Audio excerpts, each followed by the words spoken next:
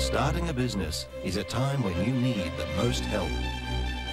A startup pack from the National Bank has the information and practical tips you need to get things right.